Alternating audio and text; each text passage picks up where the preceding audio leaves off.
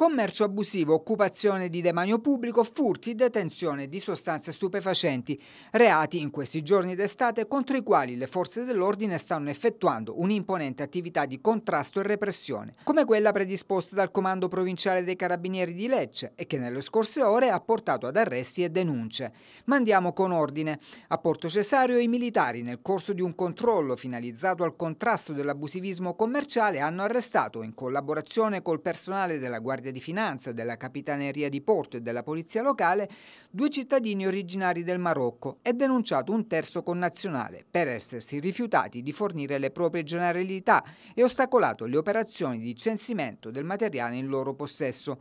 I tre sono stati trovati in possesso di merce per un valore complessivo di 20.000 euro, merce che alla vista delle forze dell'ordine hanno tentato di nascondere tra gli ombrelloni di alcuni bagnanti presenti nel tratto di spiaggia in località Torrechianca.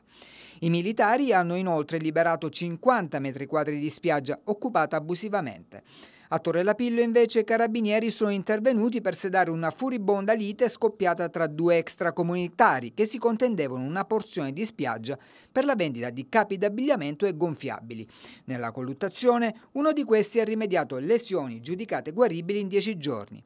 I due, ma anche un terzo connazionale che vendeva abusivamente, sono stati denunciati, oltre che per lesioni, anche per occupazione di demanio pubblico.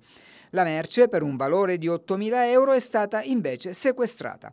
Nel corso dei controlli lungo il litorale ionico, inoltre, i carabinieri del Normo di Gallipoli, unitamente ai colleghi del battaglione Calabria, hanno deferito all'autorità giudiziaria sei giovani per resistenza pubblico ufficiale e per non aver voluto sottoporsi all'alcol test più di 90 le vetture e 190 gli automobilisti controllati, con numerose violazioni al codice della strada riscontrate.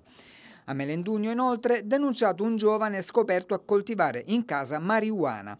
A Torre dell'Orso infine i carabinieri hanno denunciato un cinquantenne che in un tratto di spiaggia libera aveva rubato un portafoglio dalla borsa di un bagnante.